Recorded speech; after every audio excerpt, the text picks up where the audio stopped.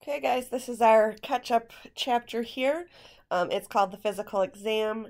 However, what we're really going to be talking about with this particular chapter is how to position a patient properly and what is the name of the different positions. All right, so we have talked about objective versus subjective already. And just as a recap, right, objective are things you can see, measure, right, physically prove, whereas subjective are um, all those things that the patient says that you have no way of proving. Uh, we often refer to objective things when we talk about diseases as signs and subjective things as symptoms, right? So a symptom of a disease is the subjective okay, component, and the signs of a disease is the objective components. Um, lab for us, we're not going to get super detailed into this because we have a whole course in this. However, of course, lab tests help us to confirm diagnosis uh, determine what we call our differential diagnosis, which is really a fancy term for, you know, what are the potential things that are wrong with the patient. And of course, our prognosis, what is our long term outcome for our patients. All right, so let's say you've got a patient who's coming in, they're getting examined today. What are some of the things you need to do? Of course, we're going to bring them back to the room. Offer the bathroom. I want to caution you that, of course, if you need to get a urine sample from them. Um, don't let them go to the bathroom without a urine cup, uh, although you can certainly collect it early. We will talk about proper ways to gown and drape a patient. Be aware that some folks, again, are more modest, as we talked about, and some a little bit uh, less concerned. So do look to your patient if they need an extra gown, an extra sheet to cover up. Um, let them be comfortable. All right, some of the things you're going to do is to observe or to inspect, which of course just requires your eyes. Uh, you're just looking at some general health. What is their posture? What is their movement? What does their skin look like? You know, is there anything obvious at the surface? Okay, that would be of a concern. Uh, what are their mannerisms, right? Do they look like they're in pain? Um, you know, withdrawn? Okay. Are they groomed? Do they have body symmetry and contour, right? If they're complaining, especially about a musculoskeletal complaint, okay, um, say a sprained ankle, right, is one look relatively normal and the other one is twice the size, red, right, has edema, certainly that wouldn't be symmetrical. Um, skin rashes and certainly obvious deformities like we talked about with first aid. All right, the healthcare provider is then going to palpate. And palpate, of course, means to touch. Okay, when touching, you can feel for masses, lumps. What does the skin feel like? What is its temperature, right? Is it warm, indicating infection or swelling? Um, and of course, they're going to use fingertips, perhaps one hand, both hands. Okay, that is something that um, is taught in medical schools or upper level uh, healthcare programs. The healthcare provider may percuss, and percuss really means to tap, right? Um, so what they will do, and they often use fingers to do this, is that they will tap, particularly over places like the chest and the abdomen. Um, they do sound different, right? When you tap over something that should be full of air, say the lung space, okay, they sound relatively hollow. Um, certainly, if a patient has got pneumonia and you're tapping, it's going to sound okay much more consolidated right dull. It's not going to have that same sort of echo like it's an empty space. But to percuss for you guys is to tap. And then auscultation. You guys have done some of this right with blood pressure um, assessing heart rates in different ways other than radial. But to auscultate requires listening right? And of course that generally requires a stethoscope if we're going to listen inside the body All right, we have done a term we call mensuration. All right, we've talked about heights and weights, but some of the stuff we haven't talked about, and we will see in some future chapters, um, is to measure lengths of limbs, right? If one side is uneven from the other, we can certainly create some mechanical problems. Uh, you could measure range of motion, which is how much does a patient flex, extend, rotate, and of course, there's a lot of pediatric measurements that we're going to do with the pediatric unit. Uh, unit. Um, and of course, use a tape measure. For all of these measurements, if you do not use a tape measure or something to physically measure these numbers that you are placing into your SOAP notes, okay, insurance companies will not accept that.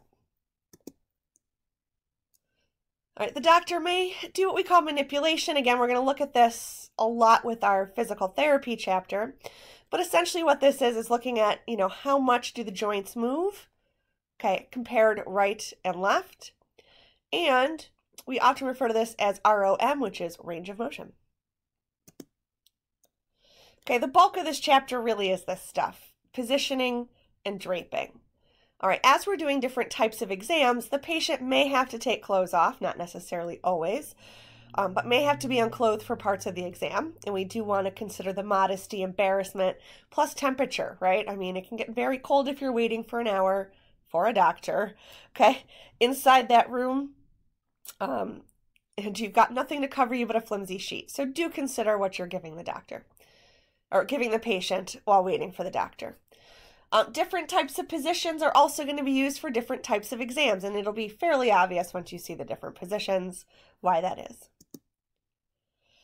All right, so our first position here is this top right-hand picture. We refer to this position as supine or dorsal recumbent, or sorry, horizontal recumbent. Okay, so supine is generally the way we go, and supine really refers to one of two things. It is either palms up in this case, or it is entire body up, so face up, lay on your back. All right, this of course is a good position for a patient if we're going to be looking at something on the anterior side of the patient, right? So if we need to see something on the front side, this is a great position. All right, of course, we are going to gown our patients, right? And oftentimes do consider that the opening may have to be towards the front if we have to look at something on the anterior side of our patient.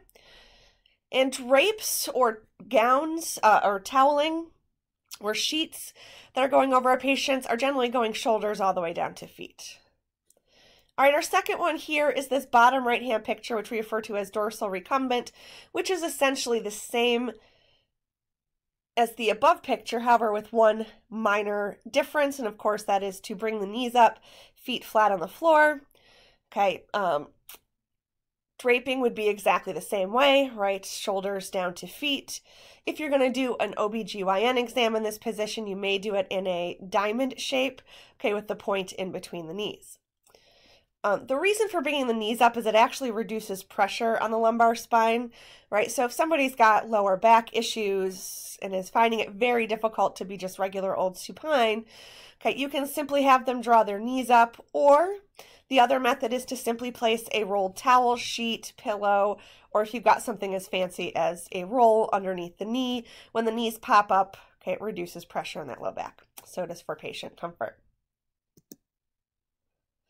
All right, this top right-hand side is lithotomy, and of course, you should recognize this as being for your OBGYN okay, type exams.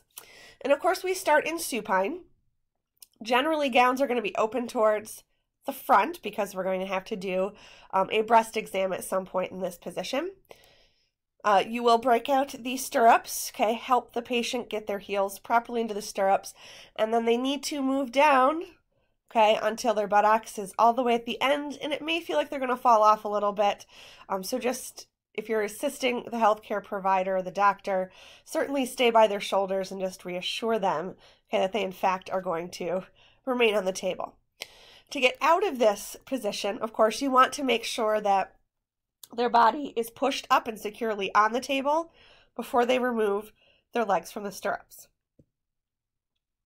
All right, the next two are related. Okay, the one at the bottom right-hand side is a semi-Fowler's, and essentially all you're doing here is going supine but raising the head to about 45 degrees.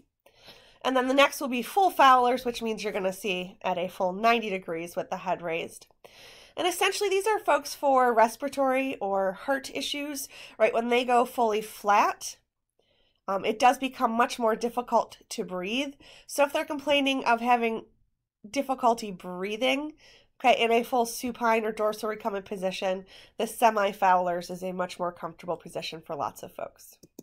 Okay, and of course here is high Fowler's, which is, or full Fowler's, which is 90 degrees. Okay, the only difference is just the amount of tilt. All right, now we're going to go the other direction on the bottom right-hand side, which is prone. Okay, the prone position is face down. Okay, patient's backside up. And of course, the gown should be open to the back when it's placed on the patient. Drapes should go all the way down from shoulders, all the way down to ankles. All right, knee chest position, rarely used. Um, this is mostly for proctology or sigmoidoscopy, but you're going to see that there are better positions for this. Um, they had proctological tables. Okay, um, and let's talk some fenestrated drapes. I know we've mentioned this before in the surgical unit. Okay, but a fenestrated drape is any drape with a hole in it. Okay, and let's take a peek at what knee chest position looks like. Okay, so this is a knee chest position. You can see why we don't often use this. It would be a relatively uncomfortable position for most things. Um, so again, uncommonly used, but be aware that this one does exist. All right, now let's talk about our Sims position, which is a much more common position for these types of exams. And this one is side lying, generally left side lying if you can, but obviously if you need to see something, Okay, on the left side, you would go right side lying. Um, the arm at the bottom is going to come underneath and behind the patient. The knees are, the bottom leg is going to be straight. The top leg will be bent. Okay, and a pillow will be placed in between the knees. And that top knee is going to come over, okay, that bottom leg. So again, bottom straight, top bent. And you're actually going to see a slight rotation in the patient when you stick this arm behind and you straighten the bottom leg bend the top leg. So it should present the back side a little bit up, which is good for rectal exams. Okay. Um, and it's a comfortable position for the patient. Okay, this is easy to maintain. Trendelenburg we did talk about when we talked first aid, and Trendelenburg is essentially head down, legs up position, and of course this was really good for somebody in shock, right? Low blood pressure, lightheadedness. All right, we will finish up this rest of this lecture in class, but please review your positions. Okay, come and prepare to practice those. Have a good day.